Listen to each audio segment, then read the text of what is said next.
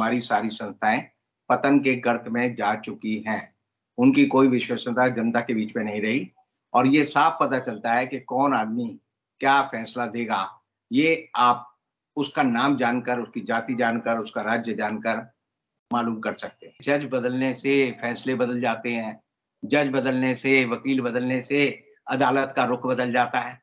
तो आप एक बात समझ लीजिए, जो लोग सोचते हैं कि न्याय है, न्याय होना नहीं चाहिए न्याय होता हुआ नज़र आना चाहिए कि हिंदुस्तान की अदालतों में ड्रेस और एड्रेस इन दोनों की कीमत है। आदमी की कीमत नहीं है, तथ्य की कीमत नहीं है, सच्चाई की कोई कीमत नहीं है। पैंतालीस भगोड़े हैं, उनमें से आपको बड़ा आश्चर्य होगा, बत्तीस जो है गुजरात के हैं। तो गुजरात का क्या संबंध है कि सारे भगोड़े जो है देश का धन लूट कर चले आते हैं? अब ये न्यायाधीश महोदय जो है, ये संसद में बैठकर सांसद बनने लायक हैं। जैसे हमारे यहाँ गोगोई साहब को राज्यसभा में भेजा गया है ऐसे ही मुझे लगता है कि रिटायर होने के बाद इनको भी राज्यसभा में या लोकसभा में कहीं भेजा जाना चाहिए। नमस्कार मैं विक्रम और आप देख रहे हैं हिंद वॉइस हमारे साथ जुड़े हुए हैं एडवोकेट अमित कुमार जी। सर बहुत बहुत स्वागत है आपका। जी नमस्कार।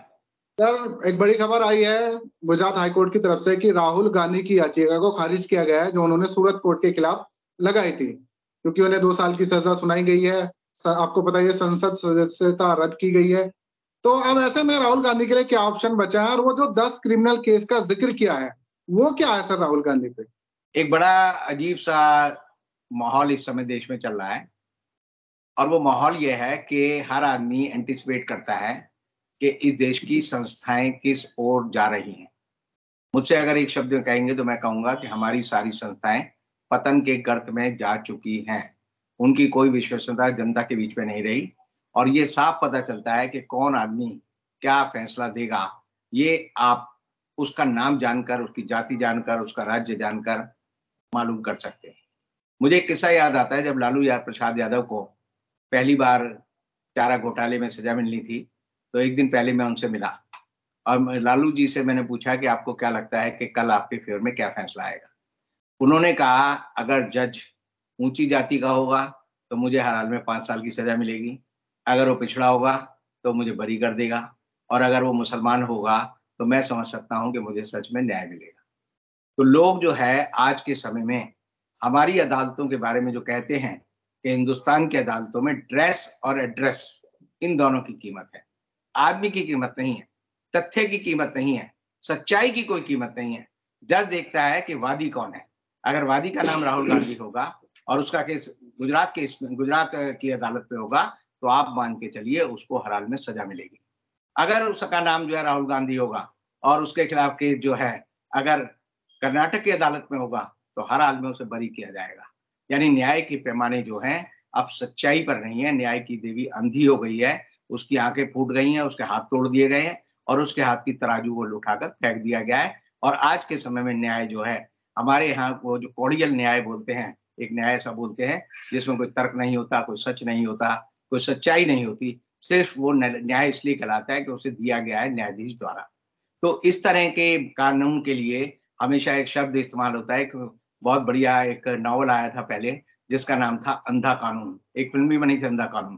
तो लोगों को अंधा कानून फ़िल्म देखनी चाहिए और तब उन्हें पता चलेगा कि कानून अंधा कैसे होता है और कानून अंधा करने वाले लोग कौन अब जो आपने कहा कि राहुल गांधी ने जो पिटिशन लगाई थी, उसको दो साल की सजा दी गई। तो सूरत की जिस अदालत में पहले जब उनको दो साल की सजा दी, तब एक सवाल ये उठा कि क्या किसी व्यक्ति को अधिकतम सजा दी जा सकती है?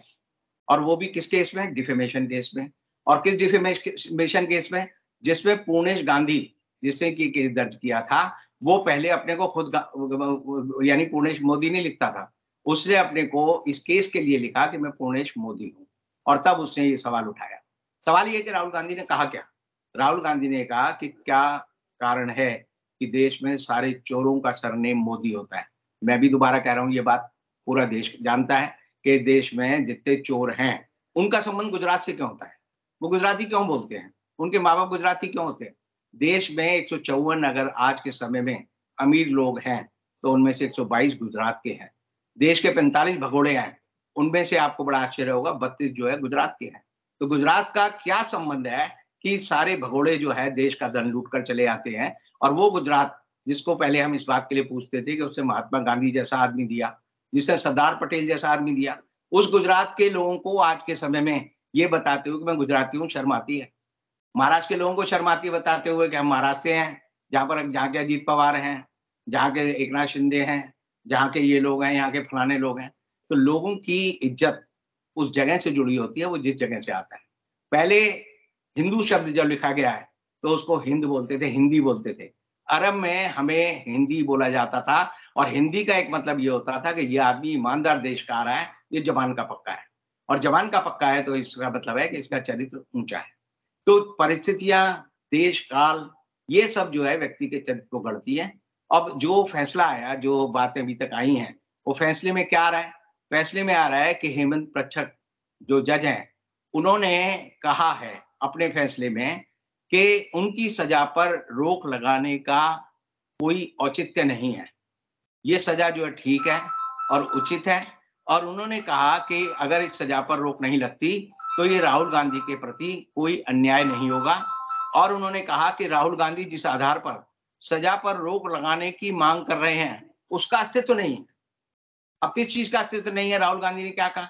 राहुल गांधी ने जो जो अपने पॉइंट उठाए वो अदालत की किताब में भी लिखे हैं, जो उनकी अपील है उसमें भी लिखे हैं। वो कह रहे हैं जी, इसका कोई अस्तित्व नहीं है। अब जब अदालत होती है तो जज जो होता है ना, वो क्या पढ़ता है? जज पढ़ता है दलील, जज देखता है कानून की किताब में क्या लिखा है, और जो केस है उसके कागज़ क्या है। उन कागजों में क्या लिखा है? अब ये न्यायाधीश महोदय जो है, ये संसद में बैठकर सांसद बनने लायक हैं। जैसे हमारे यहाँ गोगोई साहब को राज्यसभा में भेजा गया है, ऐसे ही मुझे लगता है कि रिटायर होने के बाद इनको भी राज्यसभा में या लोकसभा में कहीं भेजा जाना चाहिए। इन्होंने कहा है कि राहुल गांधी पे दस मुकदमे अलग अलग जगह चल रहे हैं। वीर सावरकर के लड़के ने इन पे मुकदमा किया तो इसका मतलब यह है, जज साहब जो है टीवी देखते हैं, जज साहब जो अखबार पढ़ते हैं, जज साहब जो है रेलवे स्टेशन पर बैठकर जो है बातें सुनते हैं लोगों की और जो पब्लिक राय बनाती है, वो अपने फैसले में लिख रहे हैं। इसे हम कहते हैं extra judicial finding by the court तो एक्स्ट्रा जुडिशियल फाइंडिंग जज साहब के सामने आई और उन्होंने उस पर फैसला दिया। तो आप समझ लीजिए कि कहीं और से वो प्रभावित हो रहे हैं। अब कहाँ से प्रभावित हो रहे हैं, ये मैं नहीं कहूँगा। ये उनकी जो जासूसी करने वाले लोग हैं, जो लोग वैसे पत्रकार होते हैं, जो खोजी पत्रकार होते हैं, राहुल गांधी को सुप्रीम कोर्ट से किसी तरह की छूट मिल सकती है। किसी तरह का उस केस में, इस फैसले में बदलाव हो सकता है। अभी प्रशांत भूषण ने कहा कि सुप्रीम कोर्ट से ज़रूर न्याय मिलेगा। तो मेरा ये मानना है कि राहुल गांधी को न्याय मिले, ना मिले। राहुल गांधी को दो साल की अगर सजा मिल जाती है तो मैं ये समझूँगा कि इस देश में जनता के अंदर, कम से कम मेरे अंदर, ये राय पूरी बनेगी कि इस देश में आपको अदालतों में नहीं जाना चाहिए। मैं पहले बहुत सारी रेड पिटिशन लगाता था पी लगाता था, फिर हमने बंद कर दी। बंद इसलिए कर दी क्योंकि अगर जनता के बीच में आप उस मुद्दे को लेकर जाएँगे तो एक हज़ार लोग, एक लाख लोग, दस करोड़ लोग आपकी बात सुनेंगे। जज के साथ जाने में क्या आपके साथ दिक्कत है? आप दो ऐसे व्यक्तियों को ऑडियंस अपनी बना रहे हैं जो आपकी बात माने या ना माने। मैंने एक मुकदमा किया था प्रतिभा देवी सिंह पाटिल पर, और वो मुकदमा जो है एस रविंदर भट्ट, जो कि दिल्ली हाई कोर्ट के जज थे, उनकी अदालत में सुबह साढ़े दस से चला और छह बजे तक चला। जब छह बजे तक चला तो छह बजे जस्टिस रविंद्र भट्ट, जो कि अब सुप्रीम कोर्ट के जज हैं, उन्होंने उस पर नोटिस जारी कर दिया और कहा कि कल सुनेंगे। तो हमारे वकील होते थे, पीएन लेखी, मैंने उनको कहा, हमारी तो आज जीत हो गई, कल फेवर में फैसला आएगा। उन्होंने कहा, देखो शाम तक क्या होता है। तो छह बज के ग्यारह मिनट पे, छह दस पे उन्होंने नोटिस किया। छह गज के ग्यारह मिनट पर दिल्ली हाई कोर्ट के मुख्य न्यायाधीश ने दिल्ली हाई कोर्ट का रोस्टर बदल दिया। और हमारा केस जो है, अगले दिन गुप्ता जी थे, उनके लगा। और गुप्ता जी ने सुबह आते केस डिसमिस तो आप समझ लीजिए जज बदलने से फैसले बदल जाते हैं। जज बदलने से, वकील बदलने से अदालत का रुख बदल जाता है। तो आप एक बात समझ लीजिए, जो लोग सोचते हैं कि न्याय है न्याय होना नहीं चाहिए, न्याय होता हुआ नज़र आना चाहिए। अगर नज़र नहीं आता तो आप ये समझिए, विक्टिम की इस देश में हमेशा पूजा हुई है। विक्टिम के साथ जो खड़े हुए हैं, आप सड़क पर किसी कुत्ते को मारेंगे तो लोग आपको कहेंगे, भाई, जानवर को क्यों मार रहे हैं? तो आप जो है, विक्टिम बनकर, राहुल गांधी को इन्होंने विक्टिम कार्ड खेलने का जो मौका दिया है, वो इनके लिए परेशानी का कारण बनेगा। और राहुल गांधी को चाहिए कि नब्बे दिन का टाइम है, उसे जो है, अपनी पिटिशन सुप्रीम कोर्ट में लेकर जाने में जितनी देरी करेंगे। तो आपको याद है जब सूरत कोर्ट का फैसला आया था और उन्हें सेशन में अपील दायर करनी थी तो भारतीय जनता पार्टी के नेता कहते थे कि राहुल गांधी अपील क्यों नहीं दायर कर रहे हैं? उन्हें अपील दायर करनी चाहिए। अब ये कहेंगे, सुप्रीम कोर्ट क्यों नहीं जा रहे?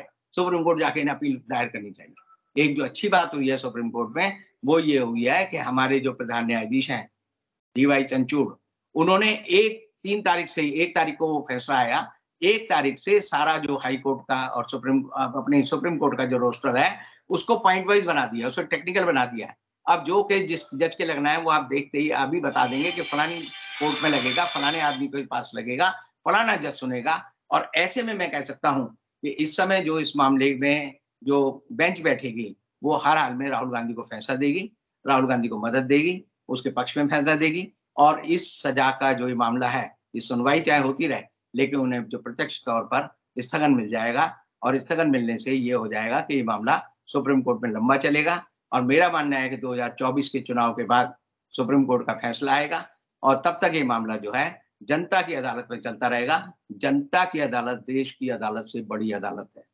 जनता की अदालत, लोकतंत्र की अदालत इस देश के न्यायाधीशों के विवेक से ज़्यादा ताकतवर है।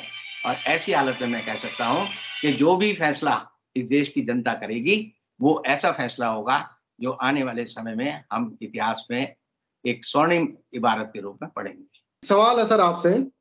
बहुत सारे लोग आए हैं कमेंट में लिखेंगे कि रविंद्र जी ने कोर्ट के खिलाफ इतनी सारी बातें की अवमानना आप पे लग जाएगा। उस बारे में थोड़ा सा बताएँ। मैं तो कई सालों से तैयार हूँ। मेरे ऊपर जो है बत्तीस मुकदमे जो है आईबी ने सीबीआई ने मेरे खिलाफ सत्रह एफ़ आई दर्ज की दिल्ली पुलिस ने मेरे खिलाफ तीन एफ़ आई दर्ज की। बहुत सारी तो ऐसी एफ़ आई आर है जो मुझे आज तक नंबर ही नहीं मिले। तो मैं चाहता हूँ इसमें कुछ हो। अदालत में जाने का फ़ायदा ये होता है कि आपके ऊपर आपको अपनी बात कहने का मौका मिलता है। कैसे मिलता है? नाथू नाथूराम गॉडसे ने गांधी जी को मारा था। उसने जो अपना वक्तव्य दिया वो संघ के लोग आज भी पूरे देश को पढ़ाते हैं कि मैंने गांधी की हत्या क्यों की? और हम्म। उसके बाद वो मानते हैं। तो ये आपके तर्क में ताकत होनी चाहिए एक प्लेटफॉर्म मिलना चाहिए। प्लेटफॉर्म मिलने के बदले अगर आप कहो कि जी आपने गलत बात कही, अगर मेरी कोई बात गलत है तो मैं उसको चुनौती देता हूँ। ड्रेस और एड्रेस की कीमत आज भी हिंदुस्तान में है, अदालत में है, ये सच्चाई है और इसे सब लोग जानते हैं। तभी तो बड़ा वकील करते हैं। क्यों बड़ा वकील करते हैं? क्यों आदमी कोशिश करता है कि मेरे पक्ष का जो है जज आए, तब मेरा फैसला सुना जाए, जिसे विंडो शॉपिंग बोलते हैं हम अदालत में। तो आप समझिए, ये मत कहिए कि हमारी कोर्टें जो है मानवीय लोगों द्वारा चलाई जा रही है, ये सारे आदमी हैं। और आदमी हमेशा जो है भावनाओं से संचालित होता है, विवेक से संचालित होता है। जज भी गलत फैसले देते हैं। इस देश की सुप्रीम कोर्ट ने फैसला दिया था। हमारे झारखंड मुक्ति मोर्चा सांसद रिश्वत कांड में कि एमपी अगर सांसद के रूप में कार्य करता है तो रिश्वत ले सकता है। तीन जजों ने कहा रिश्वत ले सकता है। अगर संसद में आज के दिन बलात्कार करके कोई एमपी बलात्कार कर दे तो उस पर कोई एफआईआर दर्ज नहीं हो सकती उस फैसले की वजह से। तो आप ये मत कहिए, ये मत समझिए, ऐसे में दस से ज़्यादा फैसले गिना सकता हूँ, बारह से ज़्यादा फैसले सुना सकता हूँ। इस देश की सुप्रीम कोर्ट ने कहा था कि अगर इमरजेंसी के दौरान किसी आम आदमी को गोली मार दी जाए तो वो कोई राज्य का हक है, वो कर सकता है। तो आदमी को मारने तक का हक जो हमारी सुप्रीम कोर्ट ने दिया है, बाद में अपने फैसले ज़रूर बदले।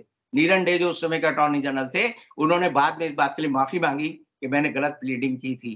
तो आदमी और सुप्रीम कोर्ट गलत कर सकती है, करती है, लेकिन उसमें सुधार की संभावनाएँ है, यही एक उम्मीद की बहुत बहुत शुक्रिया सर। अब जनता पर छोड़ देते हैं। आप लोगों का जो कुछ कहना है, नीचे कमेंट कीजिएगा, वीडियो को ज़्यादा से ज़्यादा शेयर कीजिएगा। राहुल गांधी के लिए क्या फिर से एक बार अपना टीम कार्ड खेलने का मौका मिला है उन्हें, ये भी बताइएगा। किसी और एपिसोड में रविंद्र जी से मुलाकात कराएँगे, तब तक ले दीजिए इजाज़त।